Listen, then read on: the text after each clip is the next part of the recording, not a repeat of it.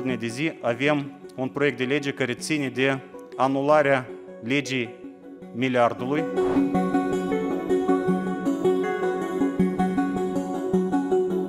Proiectul 491 vine să scoată povara fiscală, impozitară, financiară asupra bugetului și care în cele din urmă de pe umerii cetățenilor.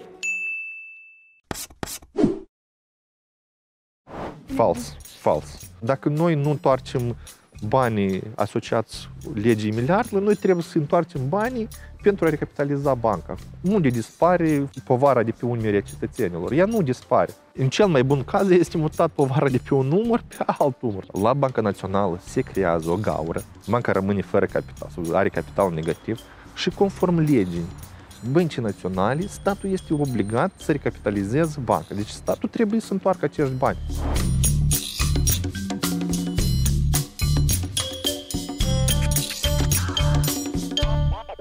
Această povară, de fapt, aduce an de an asupra umerilor cetățenilor sute de milioane de lei care ar putea fi folosiți în domeniul medical, domeniul social, agricultură.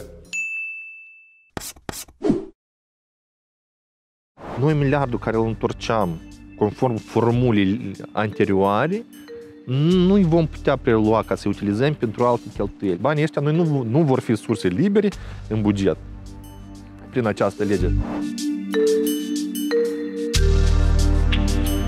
Dacă anulați această lege, ce înseamnă? Asta ar însemna o emisie neacoperită de monetă de către Banca Națională și va lovi în păturile social vulnerabile pentru că va duce la inflație, la creștere de prețuri. Statul va trebui să emită hârtii de valoare de 12 miliarde de lei, deci asta bani din bugetul statului, din impozite. Noi o să pierdem 10 miliarde de lei asistență externă, deci o sumă de 22 de miliarde de lei pe care noi o pierdem în perioada următoare.